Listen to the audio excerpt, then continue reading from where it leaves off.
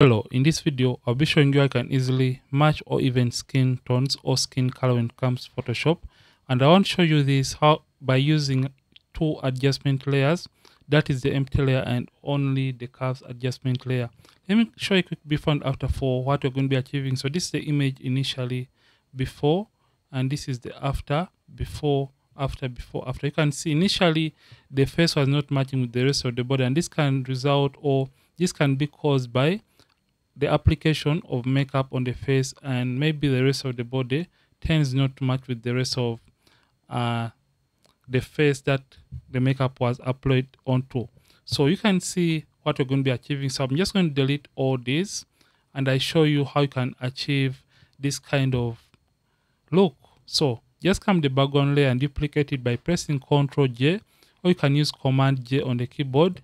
So Ctrl J or you can use Command J on the keyboard, create a duplicate or a copy from the background layer. And after creating that copy, we are simply going to come and first of all, create a selection around the subject.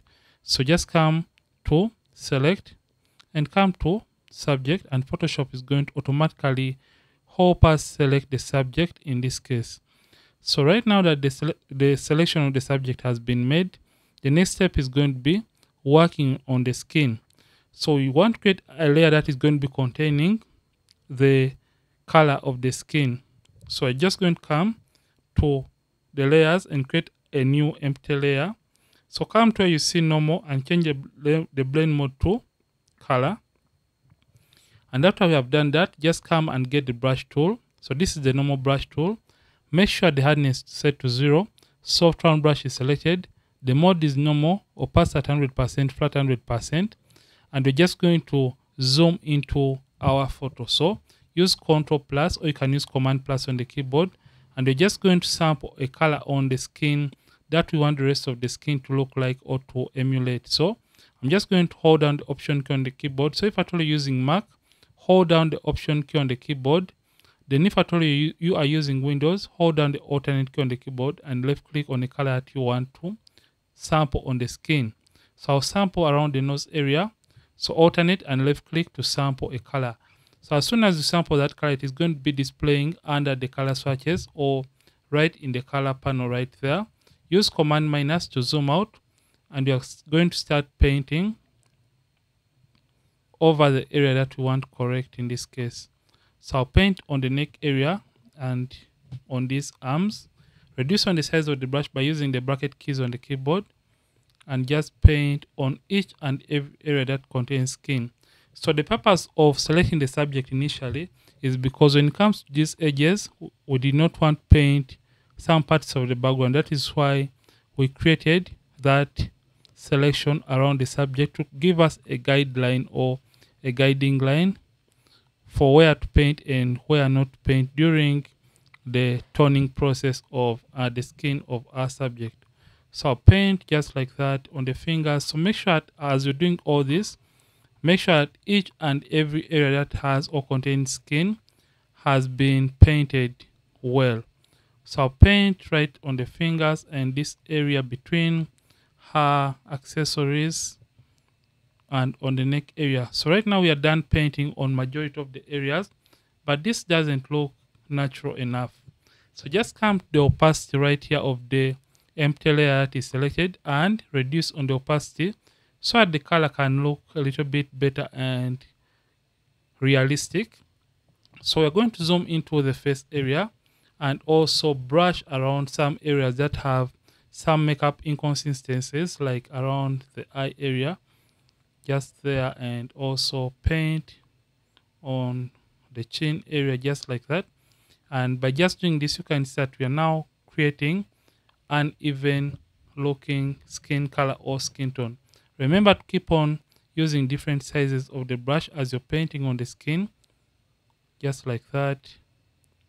So to reduce on the size of the brush you can use the bracket keys on the keyboard. So the box bracket keys are going to play around with different sizes of the brush as you're painting during this very process. So I've painted on majority of the areas that have skin. So if at all you have accidentally painted on a given area that you do not want paint, just come and get the eraser tool and make sure the mode is set to brush and the hardness is set to zero. Mode is brush opacity and the flat 100%. You can simply erase the color from an area that you did not want paint in the first place. So you can see when I paint that, it's going to rub or erase the effect from that particular area. So I'm just going to press B for the brush and paint back the effect in that area. So you can see I'm painting just like that. So after I've painted on the areas and I feel like I'm comfortable or satisfied with uh, the results, the next thing is going to be creating some brightness over the chest or the neck and the chest area and the hands. And before you do that, make sure you de deselect or you, you deactivate the active selection. So press Ctrl D. You can use Command D to deselect the active selection. Then you're going to come to the adjustments and create a curves adjustment layer. So when the curves adjustment layer has been selected, you're just going to click in the middle and create a pointer and drag it up until when you feel like the lower part of the body is bright enough.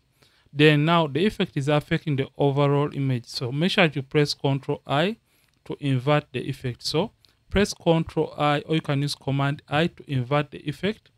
Then you're going to come to the brushes and get the brush tool once again. Make sure you have black and white on these two color swatches.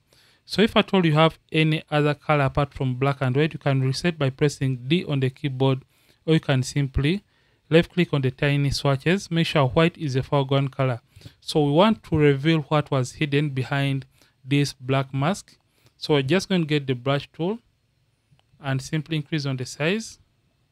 So we are using or painting using a soft round brush and the hardness of the brush is set to zero so i'm just going to paint onto the neck area reducing the size and make sure that every area on the neck that we want to brighten has been painted really well. So after doing that you can always come to the properties and make sure you feather that in so that it can look better. But this is a little bit too much and is way brighter than the face. So just come the opacity and simply drop down or reduce on the effect or the opacity of the brightness. You can say before, after, before, after. Right now, everything looks better. So I feel like the effect is a little bit too much. So I'll just go with around 66 before and after. And let me show you a quick before and after for everything that we have done in this tutorial. So this is the image before, after, before, after. Right now, the skin looks nice and even. So when you feel like the color is a little bit too much for your liking, you can create one final adjustment layer, which is the hue and saturation adjustment layer. Come and target the red color or the reds and you can drop down to the lightness and simply take down the lightness so that the effect can look a little bit natural and reduce on the amount of oranges, especially in the skin tones of our subject. So this is I can easily match or even skin color when it comes to Photoshop. And if at all you have enjoyed this video, don't forget to like the video and don't forget to subscribe if at all you have been watching and you are not yet subscribed to this channel. Ronnix from Ronnix Photography. Thank you for watching and seeing yet more videos on this channel. Don't forget to keep practicing and also keep creating.